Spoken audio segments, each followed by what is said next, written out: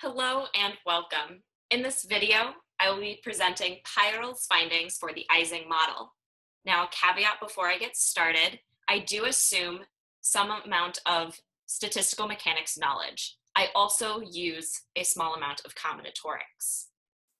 I first want us to recall that each lattice site on our 2D lattice is assigned a spin value, i.e. each sigma i is assigned plus one for an upspin or minus one for a downspin, where i ranges from one to n, n being the total number of spins on our lattice. The energy is the Hamiltonian.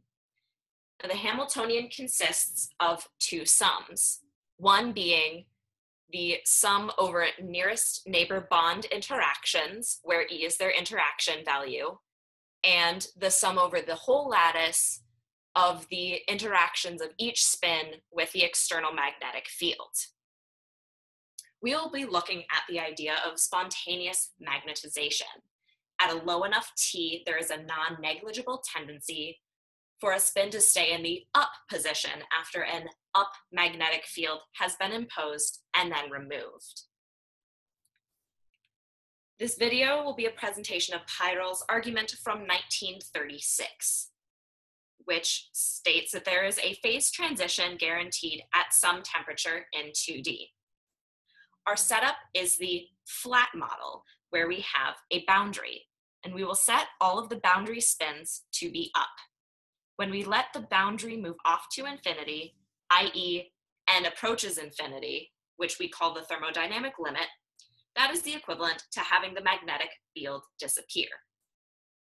For some spin deep inside the lattice, some sigma naught, we would expect the probability that it is a downspin to be one half if there is no magnetic field. However, if the temperature is low enough and we therefore have spontaneous magnetization, the probability that sigma naught is down becomes less than one half by an amount independent of the lattice size. And that is what we shall now prove. We start by defining omega to be the set of all configurations with a positive boundary, and sigma is a set of a configuration of spins. The probability for a given configuration is then e to the negative beta h over z, where beta is 1 over kt, h is the Hamiltonian, and z is the partition function, which is the sum over all configurations of e to the negative beta h. Consider some sigma naught corresponding to a point in the interior of the lattice.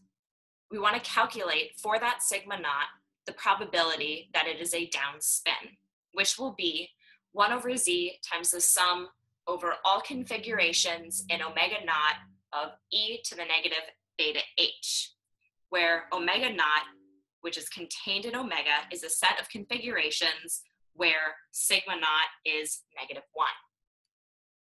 Now here's a simple three by three example. We have a positive ocean, a negative island, and a shoreline that divides the two. Now a shoreline is a closed path of line segments connecting the midpoint of adjacent squares. Each segment of shoreline separates the positive ocean from the negative land. That is, for a given shoreline, we have a set of nearest neighbor bonds such that their product is negative one. So we have a shoreline S around sigma naught with a length of n of S. Our set of configurations with S as a shoreline we call omega S, which is contained in omega naught the probability for omega s is 1 over z times the sum over all configurations in omega s of e to the negative beta h. Now we can split the summand into two pieces, where the first term is the shoreline piece and the second term is everything else. Now, because the shoreline piece does not depend on the bounds of the summation, we can pull it out. From there, we want to create a mapping. For a given sigma in omega s, we can form sigma prime by changing all signs inside our shoreline S. So in this example, we change this singular sign inside the shoreline to a positive sign. For a fixed shoreline, sigma to sigma prime is one to one. Omega S prime is the image of omega S for this mapping. Note that the sum over all nearest neighbor bonds not in S is precisely the sum of all nearest neighbor bonds in our prime mapping minus the length of the shoreline. And if you don't believe me, feel free to pause the video and check the math for yourself. So from our probability calculation we previously found, we can replace the nearest neighbor bond summation for nearest neighbors not in S with our prime mapping. But this term here, E times the summation over prime nearest neighbor bonds, is precisely the Hamiltonian for our prime mapping. Because e to the negative beta h is greater than zero for all configurations, we can replace the sum over omega s prime with a sum over all configurations. But 1 over z is precisely 1 over the sum of all configurations. So those two terms cancel, and we have that the probability for omega s is less than e to the negative beta e n of s. We now want to consider all shorelines in the set S, which surround sigma naught. So we sum over all of those probabilities, and using what we just derived, we replace the probability of omega s with e to the negative beta e n of s. We can then rewrite this as the sum from n equals 4 to infinity of s of n times e to the negative beta e n, where s of n is the number of shorelines with length n surrounding sigma naught. Now the sum starts at the shortest shoreline length, which is 4. Our next task is to bound s of n. If our shoreline around sigma naught is a length n, it must be contained within a square with sides of length n over root 2, because n is the length of the diagonal of the square. We know that s of n is less than 1 over r of n, where r of n is the number of random walks, length n, originating in the square. The factor of 1 over n comes from ordering. Each point in the random walk can be considered the point of origin. There are n over root 2 squared starting points and 4 to the n possible paths.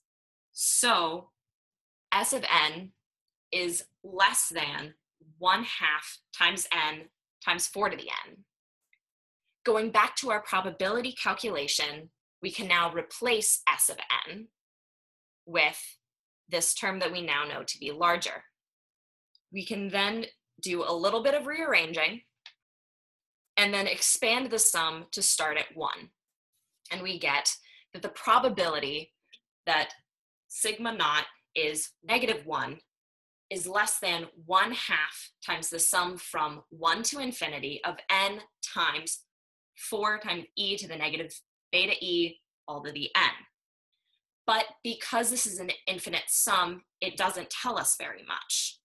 So now we're going to look at the identity for a geometric series, which states that for the absolute value of x less than 1, the sum of that geometric series is 1 over 1 minus x.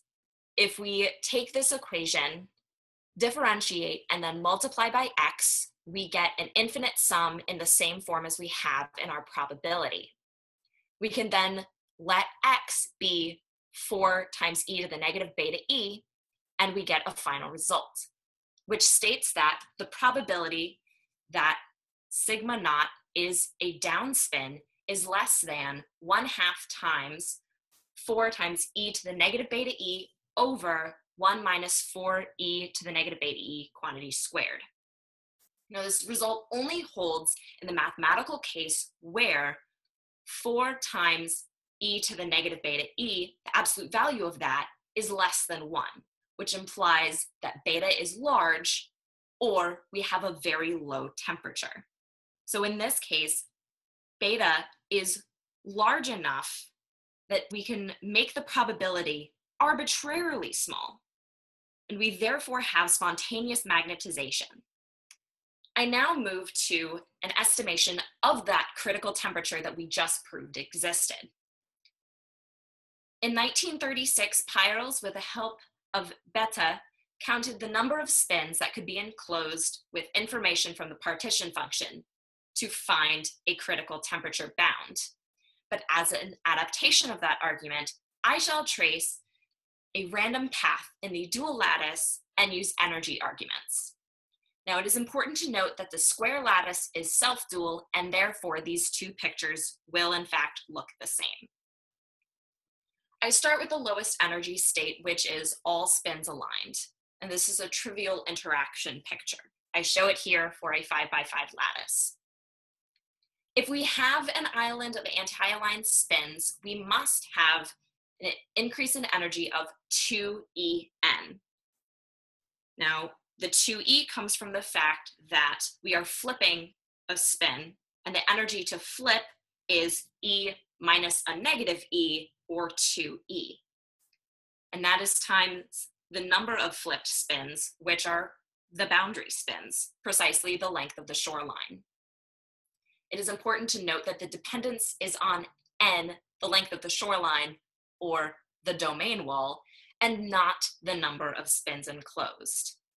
So in this simple five by five example, even though the image on the right has one more spin enclosed, it is the energy equivalent of the picture on the left. The boundary of length n is an n-stepped closed path a choice of two directions at each spin site is enough to guarantee a closed path. And thus, there are 2 to the n closed paths of length n. So we can calculate the change in entropy, which will be ln of 2 to the n. We can then calculate the change in free energy combining the previous two equations, which we find to be n times 2e minus t ln 2. At low temperature, where we have spontaneous magnetization or ferromagnetic behavior, we can assume stable boundaries. Thus, delta F is less than or equal to zero. Approaching from below, we can obtain an approximation of the critical temperature, which will be 2 over ln2 times E, or 2.885 E. Now, I've just shown these two arguments for two dimensions only. However, similar thought processes can be used to get the results for 3D. Thanks for watching.